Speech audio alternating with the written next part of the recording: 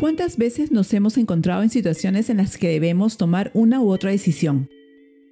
¿En cuántas ocasiones nos hemos topado con algún inconveniente o dificultad sin saber exactamente qué hacer? Seguro que en muchas situaciones hemos experimentado la necesidad de recibir un buen consejo, así que hoy hablaremos un poco sobre ello.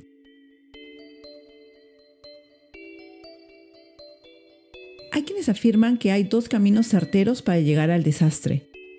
El no recibir un consejo oportuno y el recibir consejos de todos. Muchas veces esto sucede porque mantenemos una actitud cerrada en la que nos creemos suficientes y no somos capaces de buscar ayuda. O si no lo hacemos, no sabemos elegir a la persona adecuada y permitimos que todos nos brinden sus consejos, los cuales, en muchos casos, terminan dejándonos más confundidos que antes.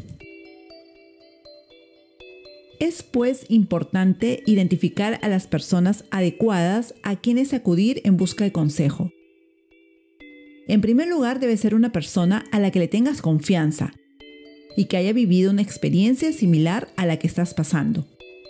Es decir, que tenga cierto conocimiento práctico en solucionar el mismo tipo de problema o situación que enfrentas. Precisamente aquí es donde solemos equivocarnos. A veces confiamos en nuestro mejor amigo o amiga para que nos aconseje sobre diferentes situaciones y olvidamos que todos somos ignorantes en algún tema. ¿Acaso crees que será ideal pedirle consejo sobre tu relación en el matrimonio a tu mejor amiga que hasta ahora permanece soltera? O tal vez acudir a tu mejor amigo a pedirle consejo sobre un emprendimiento que deseas lanzar cuando él toda la vida ha trabajado como dependiente? Pues no, ¿verdad? Entonces pide consejo a quien tenga experiencia en el campo que lo necesitas. Aprende a escuchar este es otro típico problema que a veces pasamos por alto porque no somos conscientes de él. Buscamos a la persona adecuada, nos abrimos ante ella con nuestras dudas, pasamos un buen rato hablando sobre las opciones y cuando ella nos brinda el consejo más idóneo simplemente no pasamos a la acción porque no hemos aprendido a escuchar. Sucede que los seres humanos solemos ver el mundo desde nuestros propios ojos, en base a nuestras propias experiencias y vivencias, y no como las cosas lo son. Por eso es tan importante el consejo de otra persona como lo es el saber escuchar. Aquí entra en acción una actitud que se recomienda en el mindfulness, mantener una actitud de principiante.